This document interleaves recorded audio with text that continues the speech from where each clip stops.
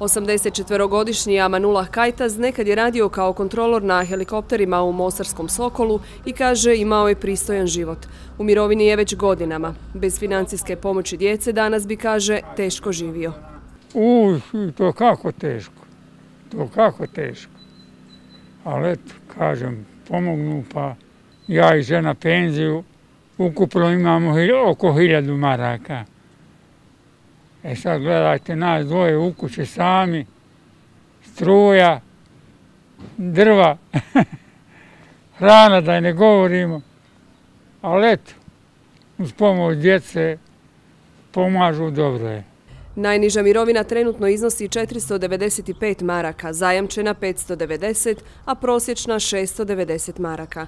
Federalno ministarstvo trgovine objavilo je nedavno kako je zabilježena godišnja inflacija od 17,6%, što umirovljenicima znači povećanje od 15% koje se uskoro očekuje. Ne znači puno zato što je toliko su cijene otišle da ne treba o tom više ni diskutovati dok tablete tamo se vamo se nemaš ništa. Hvala im, eto kažu da će nam opet dati nešto. Iskreno govoreći, na prvi pogled čini se da je to veliki procenat.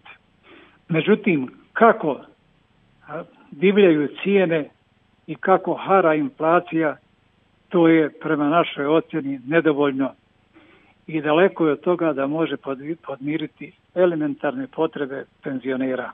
U Federalnom zavodu za mirovinsko osiguranje kažu kako će službeni podaci o BDP-u biti poznati koncem ožujka, a točan postotak usklađivanja mirovina sredinom travnja. Također kažu da će biti isplaćena retroaktivno i razlika akontacijskog usklađivanja od siječnja koji iznosi 11,1%. 15. travnja ćemo dakle, znati službene podatke koliko će to biti. Naš očekivanja su da to bude oko 15%, pa će se onda jeli, u, isplatiti u početkom petog mjeseca kad bude isplata mirovina za travanj, uvećane mirovine za travanj i razlike za ova prva tri mjeseca u odnosu na akontacijski usklađene mirovine i, i redovitog usklađivanja.